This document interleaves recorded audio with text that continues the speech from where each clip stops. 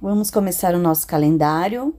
Nome: Cíntia, mês de junho, ano de 2020, estação inverno. Hoje o dia está ensolarado, nublado ou chuvoso? Hoje é segunda-feira, dia 29.